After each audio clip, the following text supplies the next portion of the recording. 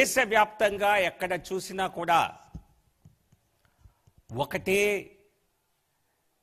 మంత్రం నరేంద్ర మోదీ నరేంద్ర మోదీ మోదీ మోదీ. ఈ ఎన్నికంతా కూడా దేశవ్యాప్తంగా మోదీమయమైనటువంటి ఎన్నికలాగా దేశవ్యాప్తంగా సాగుతోంది. ఈ ఎన్నికల్లో గత ఎన్నికల్లో భారతీయ జనతా పార్టీకి అధికారం రావటానికి రెండు ముఖ్య కారణాలు అయితే ఒకటి బీజేపీ పాజిటివిటీ మోడీ గారి నాయకత్వం ఒకవైపు అప్పటి కాంగ్రెస్ ప్రభుత్వం పైన ఉన్నటువంటి వ్యతిరేకత మరొక కారణం. కానీ ఈ రోజుల్లో కానీ ఈ ఎన్నికల్లో పూర్తిగా పాజిటివ్ ఓట్ అన్నది నరేంద్ర మోడీ గారి ప్రభుత్వానికి అన్ని రాష్ట్రాల్లోనూ దేశవ్యాప్తంగా లభిస్తోంది. దశాబ్దాలుగా నేను ఈ రాష్ట్ర దేశంలో ఎన్నికలు చూశాను. లోక్సభ ఎన్నికలు కూడా చూడటం విశ్లేషించడం కూడా జరిగింది. ఇటువంటి ఎన్నిక కొన్ని దశాబ్దాలుగా దేశంలో చూడలేదు. అంటే అధికారంలో ఉన్నటువంటి ప్రధానమంత్రి ఐదు సంవత్సరాల అధికారాన్ని పూర్తి చేసుకొని గతంలో కంటే ఇంకా ఎక్కువ పాపులర్గా అవటం కేవలం నాయకుడి పేరుపైనే నాయకుడే లక్ష నాయకుడే నాయక లక్షణాలపైనే ప్రజలు మరొకసారి ఆ పార్టీని అధికారంలోకి రావాలి అని కోరుకోవటం ఎంపిక చేయటం అన్నది ఇది సాధారణ ఇది అసాధారణమైనటువంటి విషయం. ఎన్నికలు ఇంకా రెండు దశలు జరగవలసి ఉన్నప్పటికీ కూడా ఇది పూర్తిగా ఒక ఫార్మాలిటీ లాగానే తయారైంది. ఏదైతే కూటమి పేరుతో మహాకూటమి పేరుతో అనేక ప్రయత్నాలు అనేక ప్రయోగాలు అనేక ప్రయ ప్రయత్నాలు చేసినటువంటి ప్రతిపక్ష పార్టీలన్నీ కూడా పూర్తిగా విఫలమైన అయినట్లుగా తెలిసింది. ఎక్కడ నరేంద్ర మోడీ గారికి ధీటుగా నిలబడిన నాయకుడు దేశంలోనూ ఎక్కడా లేరు. పశ్చిమ బెంగాల్ లాంటి రాష్ట్రంలో కూడా ఎక్కడైతే బీజేపీ గతంలో బలంగా లేదో అక్కడ కూడా తృణమూల్ కాంగ్రెస్ పునాదులు కదులుతున్నాయన్న విషయం స్పష్టంగా తెలుస్తోంది. అక్కడ తృణమూల్ కాంగ్రెస్ హింసకు పాల్పడిన తీరును చూస్తే ఏ మేరకు తృణమూల్ కాంగ్రెస్ భయపడిందో ఏదో ఒక రకంగా ప్రజాస్వామ్యాన్ని అపహాస్యం చేయాలని చూస్తుందో అర్థమవుతోంది. ఒకవైపు కేంద్రంలో కేంద్ర ప్రభుత్వంలో నరేంద్ర మోడీ గారి ఆధ్వర్యంలో మరొకసారి ప్రభుత్వం ఏర్పాటవటం అందరూ ఆమోదించిన విషయమే తెలిసిన విషయమే. మరి రాష్ట్రంలో కనుక చూసినట్లయితే ఆంధ్ర రాష్ట్రంలో ఎక్కడైతే అసెంబ్లీ ఎన్నికలు కూడా జరిగాయో అక్కడ ప్రజలు మార్పు కోసం ఓట్ చేశారన్న విషయం అందరికీ తెలిసిందే. తప్పనిసరిగా అక్కడ తెలుగుదేశం పునాదులు పూర్తిగా కదిలిపోయాయి. ఒక ఎన్నికల తుఫాన్ లాగా తెలుగుదేశం తుడిచిపెట్టుకుపోవటం ఖాయం అని అందరికీ తెలిసిన విషయమే. కానీ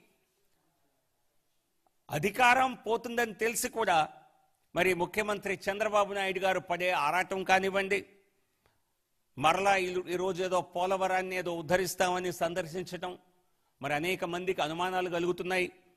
మరి పోలవరం మీద నిజంగా మమకారమా? లేక పోలవరం ప్రాజెక్టులో వచ్చిన నిధులు దానిలో కాంట్రాక్టర్లకు పంచిన నిధులు దానిలో తమ వాటాలేవో వచ్చాయో రాలేదో తేల్చుకోవటానికి పెట్టే సమావేశాలా అని అందరికీ అందరికీ అనుమానాలు ఉన్నాయి. ఎందుకంటే నీటిపారుదల వ్యవస్థ పైన మీరు ఎక్కడా శ్రద్ధ చూపించలేదు. అనేక ప్రాజెక్టులు రాష్ట్రంలో ఇంకా కుంటుబడే ఉన్నాయి. పోలవరం పైన చూపించిన శ్రద్ధల్లా ఆరు వేల కోట్లకు పైగా కేంద్ర ప్రభుత్వం నుంచి వచ్చిన ధనం పైన మీకు ఆశ తప్పితే పోలవరం ప్రాజెక్టు మీద కాదు అన్నది ప్రజలందరికీ తెలిసిన విషయమే. కాకపోతే ఏదో ఒక రకంగా రాద్ధాంతం చేసి ఎలక్షన్లు అయిపోయినాయి ఇంకా నటించిన దీనికి కొత్తగా దీనికేమే బెస్ట్ యాక్టర్ ప్రైజ్ వచ్చిన వచ్చే అవకాశం కూడా లేదు. ఓట్లు వేసిన ఓట్ల ర- తంతు అన్నది ముందుగానే పూర్తయిపోయింది. సో కానీ డ్రామాకు తెర వేయకుండా వరుసగా డ్రామాలు చేస్తున్నటువంటి రాష్ట్ర ప్రభుత్వం ముఖ్యమంత్రి చంద్రబాబు నాయుడుని చూస్తే మరి కేవలం జాలి మాత్రమే వేస్తోంది. ఏ రాష్ట్రంలో మరి కేబినెట్ మీటింగ్స్ పెట్టుకోవాలన్నా కూడా మరి కేంద్ర ఎన్నికల సంఘం అనుమతి లేకుండా అది సాధ్యం కాదు. మొన్న ఏప్రిల్ ముప్పై ఒక తేదీన మహారాష్ట్ర ముఖ్యమంత్రి దేవేంద్ర ఫడ్నవీస్ గారు కూడా అక్కడ కరువు అనేక ప్రాంతాల్లో కరువు ఉందని దానికి సమీక్షా కార్యక్రమాలు చేయవలసిన అవసరం ఉందని కొన్ని కేబినెట్ నిర్ణయాలు తీసుకోవాల్సిన అవసరం ఉందని ఆయన కూడా ఎన్నికల కమిషన్ని మరి అనుమతి కోరటం జరిగింది. స్పెషల్ క్యాబినెట్కి పిల్ పిలుచుకోవటానికి ఈ కరువుకు సంబంధించి నిర్ణయాలు తీసుకోవటానికి అవకాశం ఇవ్వండి అని ఎన్నికల కమిషన్ని మహారాష్ట్ర ముఖ్యమంత్రి కూడా అడగటం జరిగింది. కానీ మన రాష్ట్ర ముఖ్యమంత్రి ఆ ఊడిపోయే పదవి అని తెలిసినా కూడా మరి తానేదో స్పెషల్ కేటగిరీలో తనకేదో ముఖ్యమంత్రి పదవి వచ్చినట్టు మరి ఆయన నిర్ణయాలు ఎవరికి కట్టుబడి ఉండవలసిన అవసరం లేదు అన్న రీతిలో ఆయన ప్రవర్తన ఉన్నది. ఇటువంటి వైఖరి ప్రజాస్వామ్య వ్యవస్థలో పనికిరాదు. ఆయన మరి మరొకసారి ఏదో కేబినెట్ మీటింగ్ పెడతానని హడావిడి చేస్తున్నారు. మరొకసారి భంగపడక తప్పదు. ఎందుకు కావాలని అవమానాల్ని కొని తెచ్చుకుంటున్నాడు ముఖ్యమంత్రి. మరి పిలిస్తే అధికారులు పారిపోతున్నారు. దగ్గరికి రావట్లేదు అని ఇటువంటి అవమానాల్ని ఎందుకు మూటగట్టుకుంటున్నారు? కొత్తగా మీరు చేసే డ్రామాకు రాలే ఓట్లేమీ లేవు. సో కాబట్టి మీ నిజస్వరూపాన్ని ప్రజలు గ్రహించారు. వారు ఇవ్వవలసిన తీర్పుని ఆల్రెడీ ఇచ్చేశారు. సో కాబట్టి ఇప్పుడేదో కొత్తగా డ్రామాలు నిర్వహించి ఏదో మరి ప్రభావితం చేద్దామని చూడటం ఇది కేవలం అమాయకత్వం తప్పితే మరొకటి కాదు. సో కాబట్టి ఇప్పటికైనా ఈ వైఖరిని మానుకొని ఇకనైనా మరి పదవి జరగబోయే పదవి పదవి రాహిత్యం అనాలా పదవి విమోహాన్ని తొందరగానే మరి దానికి తయారీ అయితే దానికి సరైనటువంటి సన్న దానికి సరైనటువంటి ఒక రకంగా ప్రిపరేషన్స్ చేసుకుంటే మంచిది. కొత్తగా కొత్తగా పదవి పైన వ్యామోహం పెంచుకుంటే వచ్చే లాభం లేదు. అది త్వరలోనే ఊడిపోయే పదవి. ఇక ఈ రోజున కొన్ని మీడియా సంస్థల్లో మనం చూస్తున్నాము. ఎవరైతే ఒక అభ్యర్థిగా తేజ్ బహదూర్ యాదవ్ని వారణాసి నుంచి ప్రధానికి ప్రధాని నరేంద్ర మోదీ గారికి ధీటుగా అభ్యర్థిగా పెట్టాలి అని సమాజ్వాదీ పార్టీ నిర్ణయించిందో అతని అభ్యర్థిత్వాన్ని అక్కడ రద్దు చేయటం జరిగింది సాంకేతిక కారణాల వలన. కానీ అటువంటి వ్యక్తి ఈ రోజున టెలివిజన్ ఛానల్స్లో చూస్తున్నాము. ఏ రకంగా ప్రధానమంత్రి నరేంద్ర మోదీ గారిని హతమార్చటానికి ఆయన్ని అమానుషంగా చంపటానికి యాభై కోట్లు ఇస్తే దానికి సిద్ధం అని మేము బాధ్యత తీసుకుంటామని చెప్తున్నటువంటి వీడియో ఏదైతే మరి మీడియా ముందుకొచ్చిందో ఇది చాలా చాలా ప్రమాదకరమైనటువంటి ప్రమాదకరమైనటువంటి పరిస్థితుల్లో దేశం ఉన్నది అని అర్థమవుతోంది. మరి ప్రత్యర్థులు తెలిసి ఇటువంటి వ్యక్తిని అభ్యర్థి చేశారా? మరి ఇటువంటి ప్రయత్నాలు నిజంగా ఇతనేమన్నా చేశాడా?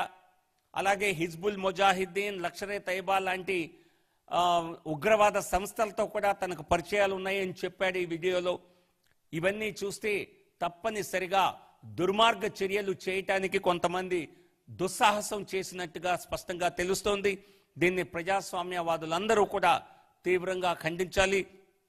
గతంలో కూడా ఇటువంటి ప్రయత్నాలు చేసినట్లుగా మరి భీమా కోరెగాంలో ఎప్పుడైతే అల్లర్లు జరిగాయో అప్పుడు చేసిన పోలీసు దాడుల్లో కూడా ఇటువంటి కొన్ని లేఖలు బయటపడటం జరిగింది. ప్రధాని నరేంద్ర మోడీ గారిని చంపటానికి ప్రయత్నం చేస్తున్నారు. అర్బన్ నక్సల్స్ అనేవారు అనే ఒక ప్రయత్నం చేయటం జరిగింది. అటువంటి వ్యక్తుల్ని ఖండించకుండా కాంగ్రెస్ పార్టీ వారిని సమర్థించడం జరిగింది. ఇది పూర్తిగా ఇది అమానుషమైనటువంటి చర్య. ఇక రాజ్యాంగ సంస్థల విషయంలోకి వస్తే ఎలక్షన్ కమిషన్ పైన అనేక మంది మరి ఎలక్షన్ కమిషన్ తమ పార్టీ సంస్థలాగా పనిచేయాలి అనుకునే అనేక పార్టీలు ఉన్నాయి. అందులో కాంగ్రెస్ పార్టీ రాహుల్ గాంధీ అలాగే తెలుగుదేశం పార్టీ చంద్రబాబు నాయుడు గారు వీరంతా మమతా బెనర్జీ తృణమూల్ కాంగ్రెస్ పార్టీ వీరంతా ఆ కోవకు చెందినవారే ఎన్నికల కమిషన్ని ఏదో ఒక రకంగా వారిని అభాసుపాలు చేసి తమ రాజకీయాలకి రాజకీయ ప్రయోజనాల కోసం వారిని బ్లాక్మెయిల్ చేయొచ్చు అన్నటువంటి ప్రయత్నాలే వీరి ఒక ఆలోచనగా కనిపిస్తోంది. చంద్రబాబు నాయుడు గారు అయితే ఇక ఉదయం లేచిన దగ్గర నుంచి గత కొద్ది రోజులుగా ఏదో ఒక రకంగా మరి ఎలక్షన్ కమిషన్ని తిట్టడం నిన్న రాష్ట్ర ఆంధ్రప్రదేశ్ రాష్ట్ర ప్రభుత్వం విఫలమైందని కూడా ప్రధాని నరేంద్ర మోదీ గారిని నిందించటం తెలంగాణ ప్రభుత్వంతో సత్సంబంధాలు చేసుకోపోవటానికి కారణం తెలుగుదేశం పార్టీ కూడా ప్రభుత్వం కూడా బాధ్యత వహించాల్సింది పోయి భారాన్నంతా కూడా ఢిల్లీ పైన మోపాలి అనేటువంటి మీ తప్పించుకునే ధోరణి కానివ్వండి ఇవన్నీ కూడా ప్రజలు గమనిస్తున్నారు. ఈ ఎన్నికల్లో తెలంగాణ ముఖ్యమంత్రి అలాగే ఫెడరల్ ఫ్రంట్ అని చెప్పి అనేక రాష్ట్రాలు తిరుగుతున్నటువంటి తీరు మనం చూసాం అది ఎక్కడా కూడా ఫలించినట్టుగా దాఖలాలు లేవు. అయినా కూడా మరొకసారి ఆ ప్రయత్నంలో ఉన్నారు అని ఆయన కేరళ పర్యటనలో కూడా రాజకీయాలు కూడా ప్రస్తావించి రాజకీయాలు చర్చించి దానికి వెళ్ళారని వార్తలు వస్తున్నాయి కాబట్టి ఈ ఎన్నికల్లో రెండు వేల పంతొమ్మిదిలో ఏ కూటమికి అవకాశాలు లేవు? బీజేపీ నాయకత్వంలోని ఎన్డీఏకి పెద్ద మెజారిటీ రాబోతోంది. సో కాబట్టి ఇక్కడెక్కడా వేకెన్సీ లేవు. ఎవరైతే రెండు రాష్ట్రాల నాయకులు ఇద్దరు ముఖ్యమంత్రులు తెలుగు ముఖ్యమంత్రులు మరి తమ సంతానానికి రాజకీయాలని అధికారాలని అప్పజెప్పి ఢిల్లీ రావాలి అని ఎవరైతే ఉబలాట పడ్డారో మరి చంద్రశేఖర్ రావు గారికి కనీసం రాష్ట్ర ప్రభుత్వం ఉంది. మరి ముఖ్యమంత్రి గారికి చంద్రబాబు నాయుడు గారికి అక్కడ రాష్ట్ర ప్రభుత్వం కూడా పో పోబు చేజారిపోబోతోంది మరి తన సొంత తనయుడు కూడా మంగళగిరి నుంచి ఓడిపోయే దాఖలాలు కనిపిస్తున్నాయి. సో ఈ పరిస్థితుల్లో తప్పనిసరిగా స్థానియ ఎన్నికల్లో లోకల్ బాడీ ఎలక్షన్స్లో భారతీయ జనతా పార్టీ ఒక ఒక నిర్ణాయక శక్తిగా ఎదగాలి అన్న ప్రయత్నాన్ని మేము మొదలుపెట్టాము. తప్పనిసరిగా రెండు తెలుగు రాష్ట్రాలు కూడా రెండు వేల ఇరవై నాలుగుకి రెండు వేల పంతొమ్మిదిలో భారతీయ జనతా పార్టీకి రెండు రాష్ట్రాల్లో అద్భుతమైనటువంటి ఫలితాలు రాబోతున్నాయి. ఎక్కడైతే రాలేదో రెండు వేల పద్నాలుగులో. ఆ రెండు రాష్ట్రాలే ఈశాన్య రాష్ట్రాలు. వెస్ట్ పశ్చిమ బెంగాల్ ఒడిస్సా రెండు వేల ఇరవై నాలుగులో రెండు రాష్ట్రాల్లో భారతీయ జనతా పార్టీకి భవిష్యవాణి ముందుగానే చెప్తున్నాను. అద్భుతంగా భారతీయ జనతా పార్టీ పర్ఫామ్ చేయబోతోంది రెండు వేల ఇరవై నాలుగుకి. ఆ లక్ష్యం ఆ రాష్ట్రాలే రెండు తెలుగు రాష్ట్రాలైనటువంటి ఆంధ్రప్రదేశ్ తెలంగాణ ఆ లక్ష్యంతోనే మేము ముందుకెళ్తున్నాం. మాకు భవిష్యత్తులో పార్టీ అధికారాన్ని భా- పార్టీ విస్తరించడానికి ఉన్న అవకాశం ఉన్న రాష్ట్రాల్లో రెండు తెలుగు రాష్ట్రాలు ప్రథమంగా ఉన్నాయి. అది కాకుండా కేరళ ఇతర రాష్ట్రాల్లో కూడా అవకాశాలు ఉన్నప్పటికీ రెండు తెలుగు రాష్ట్రాలు మాకు ప్రధానంగా రెండు వేల ఇరవై నాలుగుకి తప్పనిసరిగా ఒక కంచుకోటలా తయారయ్యే రీతిలో మేము కార్యాచరణని చేయబోతున్నాం. ప్రజలు రెండు రాష్ట్రాల ప్రజలు ఆశీర్వదిస్తారని ఆశిస్తాం. థ్యాంక్ యూ క్వశ్చన్స్ అని ఉంటే.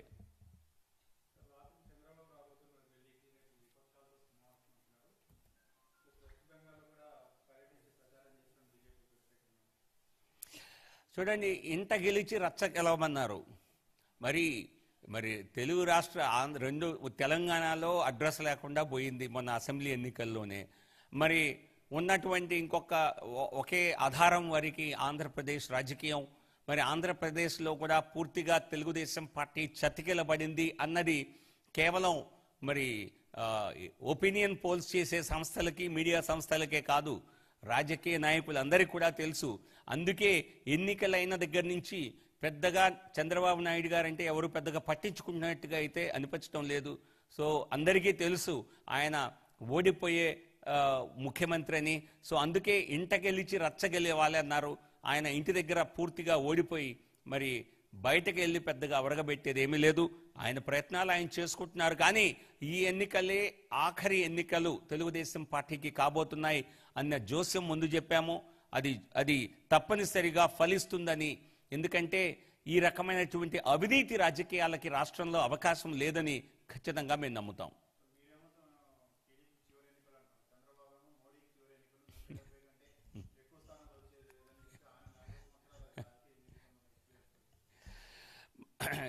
చంద్రబాబు నాయుడు గారు మరి ఆయన ఆయన ఇంటి చుట్టూ తిరిగి మరి ఆయన ఎస్టిమేట్ చేసుకుంటే మనం చెప్పలేము దేశంలో ఏ రాష్ట్రానికి వెళ్ళినా ఏ మూలకి వెళ్ళినా మరి మీడియా సంస్థలు అందరూ కూడా అన్ని రాష్ట్రాల్లో పర్యటించారు.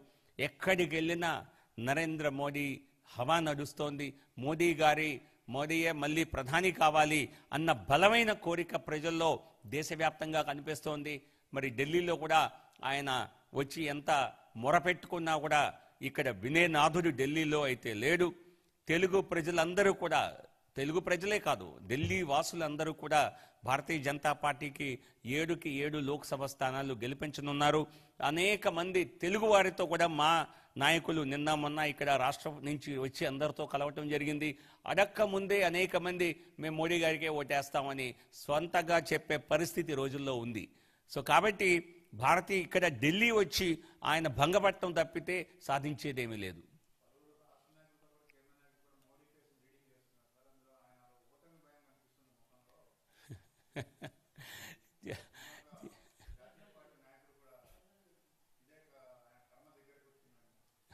చూడండి కాంగ్రెస్ పార్టీ ప్రముఖ పార్టీ అయినప్పటికీ కూడా ఈ ఎన్నికల్లో దాదాపుగా అడ్రస్ లేకుండా కాంగ్రెస్ పార్టీ పోయింది? సో కాంగ్రెస్ తామే మొన్న ప్రియాంక వాడ్రా మాట్లాడుతూ ప్రియాంక గాంధీ ఎన్నికల జరుగుతున్న సందర్భంలో మాట్లాడుతూ మేము ఎన్నికల్ని గెలవటానికి ఫైట్ చేయటం లేదు. మేము కేవలం మా ఓట్లతో బీజేపీని తగ్గించాలన్న ప్రయత్నం చేస్తున్నాం. అని మేము ఓట్లు కట్ చేసే పార్టీ మాత్రమే కానీ సీట్లు గెలిచే పార్టీ కాదు అని స్వయంగా చెప్పడం జరిగింది. కాంగ్రెస్ పార్టీకి ఒక ఒక వ్యూహ రచన కానీ ఒక నాయకత్వం కానీ ఒక ఒక సరైనటువంటి ప్రణాళిక కానీ ఉన్నట్లుగా ఎవరికీ అనిపించలేదు. ఈ ఎన్నికల్లో కాంగ్రెస్ మరొకసారి ఘోర పరాజయం చెందబోతోంది అన్నదానికి ఎవరికీ డౌట్ లేదు. అందుకే అనేక మిత్రపక్షాలుగా ఉండేవారు కూడా కాంగ్రెస్ పంచం చేరటానికి చేరి పెద్దగా తిరగటం లేదు.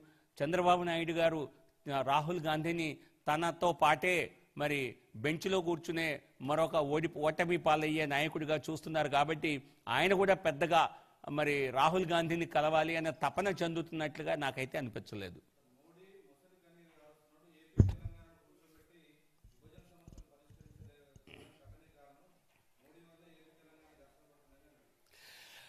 ఆంధ్రప్రదేశ్కు తెలంగాణకు ఎక్కడా ఘర్షణ లేదు. స్పష్టంగా నేను చెప్తున్నాను ఇది. తెలంగాణ ఏర్పాటుకు ముందు ప్రజల్లో కూడా కొంత భయం ఉన్నమాట వాస్తవం. కానీ రెండు రాష్ట్రాల ఏర్పాటు తర్వాత అన్నదమ్ముల్లాగా రెండు రాష్ట్రాలు కలిసి ఉన్నారు తప్పితే ప్రజల్లో ఎటువంటి ఎటువంటి ఇబ్బంది కలగలేదు. రాష్ట్రాలు విడిపోయినా కూడా అవకాశాలు ఎక్కడ ఎవరికి తగ్గలేదు. కాకపోతే తమ రాజకీయ అవసరాల కోసం మరి టీఆర్ఎస్తో తగోబెట్టుకున్నటువంటి ముఖ్యమంత్రి తన రాజకీయ పోరుని ప్రజల ఏదో సంక్షేమం కోసం చేసే పోరులాగా దొంగ నాటకం ప్రయత్నించారు తప్పితే రెండు రాష్ట్రాల ప్రజల మధ్య ఎక్కడా ఇబ్బంది లేదు. ఇటువంటి శత్రు వైఖరిని రాజకీయ నాయకులు విడనాడాలి. తప్పనిసరిగా ప్రజల్లో రెండు రాష్ట్రాల ప్రజల్లోనూ కూడా రెండు రాష్ట్రాలు అభివృద్ధి చెందాయి తప్పితే నష్టపోలేదు అన్న ఆలోచన స్పష్టంగా ఉన్నది. ఓన్లీ తమ రాజకీయ లాభం కోసమే తెలుగుదేశం నాయకులు అందులోనూ ముఖ్యంగా చంద్రబాబు నాయుడు గారు విచ్చేసేటువంటి డ్రామా రాజకీయాలే ఇవి. రెండు రాష్ట్రాలు కలిసి కూర్చోటానికి మరి ఢిల్లీ నుంచి ఎవరైనా రావాలా? తెలంగాణ సీఎం ఆంధ్ర సీఎం ఇద్దరు మాట్లాడుకోలేరా? రెండు రాష్ట్రాలకి ఒక కామన్ గవర్నర్గా ఉన్నప్పుడు మరి గవర్నర్ చెంతన కూర్చొని ఇద్దరు పరిష్కరించుకోలేరా? ఇది కేవలం తమ రాజకీయ లాభం కోసం ఏదో ఒక రకంగా రచ్చ చేయాలి అన్న ప్రయత్నం తప్పితే ఇది సరైనటువంటి ఆలోచన కాదు. కేంద్ర ప్రభుత్వం రెండు రాష్ట్రాలని కూడా సమంగా రెండు కళ్ళలాగా చూసింది. రెండు రాష్ట్రాల అభివృద్ధికి సహకరించింది. మరి మీరు మీరు కావాలని ఈ రకంగా తగవ పెట్టుకొని రాజకీయ లబ్ధి పొందాలి అని చంద్రబాబు నాయుడు గారు ముఖ్యంగా ప్రయత్నించారు. సో కాబట్టి దోషిగా ప్రజల ముందు చంద్రబాబు నాయుడే నిలబడ్డారు. అది కూడా తెలుగుదేశం పార్టీ ఓటమికి మరొక ప్రధాన కారణమైంది. మా లేటెస్ట్ వీడియోస్ని చూడాలంటే KSR RX hundred TV YouTube ఛానల్ని తప్పక సబ్స్క్రైబ్ చేయండి. అలానే పక్కనున్న బెల్ బటన్ని క్లిక్ చేసి నోటిఫికేషన్ని పొందండి.